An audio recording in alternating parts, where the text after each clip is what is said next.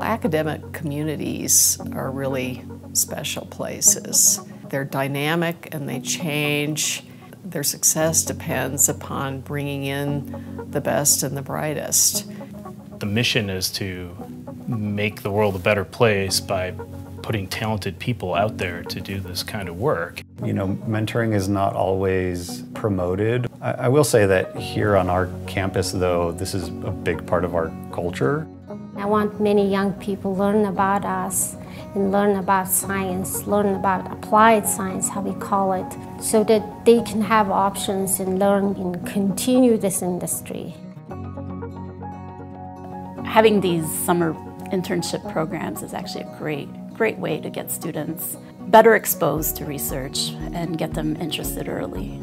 Maybe I'm so passionate about it because I, I didn't have a lot of undergrad research experience. I think one of the, the great joys of my job is to mentor. The broad array of like exposure to different techniques and different research areas and all the seminars, just a very big perspective on like how much more I can do. The fact that you can take a stem cell and make it anything or most other things is like insane to me.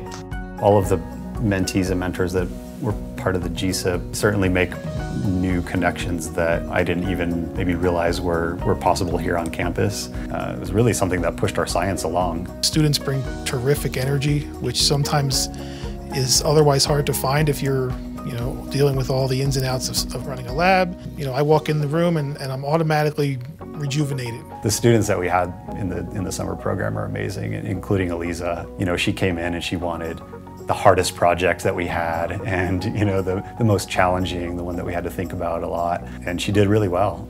I get really excited about studying this because nobody really knows. It's just something that is left to figure out and if we did deduce what's going on there, we could probably help a lot of people like medically and help with developmental disorders, things like multiple sclerosis, just a lot of things that have to do with the brain that people suffer from.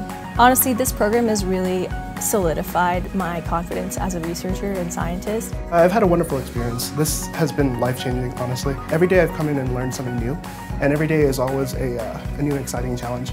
With each individual steps, he works either with one or two scientists or he works with all of us and he follows the procedure we show him how to do and then also teach him the basics of the science, why you do it, how you do it. He comes, he's very different. There's this certain tool exists to do this. He's bringing very different perspective to us. Joseph is probably one of the most enthusiastic and ex excited young scientists I've ever worked with. And so I really am thankful to be able to work with him.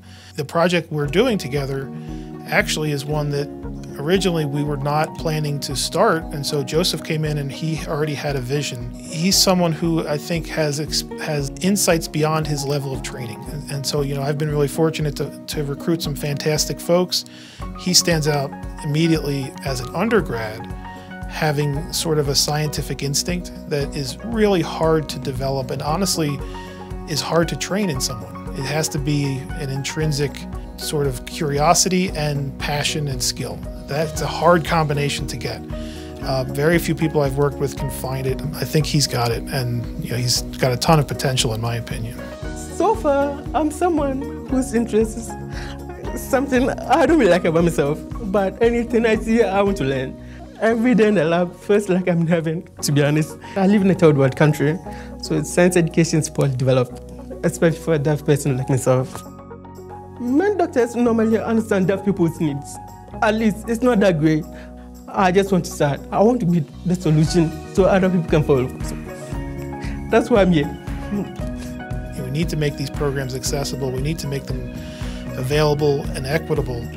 And the only way to do that is to be able to really know who are we able to reach and who are we not. You know, who who are we, who is, are we missing that could be the next great scientist that otherwise wouldn't have the chance. You know, I'm used to people who look a lot like me and have similar backgrounds. And while that's not always the case. Having the student come in has made me rethink how can I be a better mentor? How can I be a better communicator? And that's really valuable. And another reason why bringing in people from around the world, around the country, different backgrounds, different abilities is so important.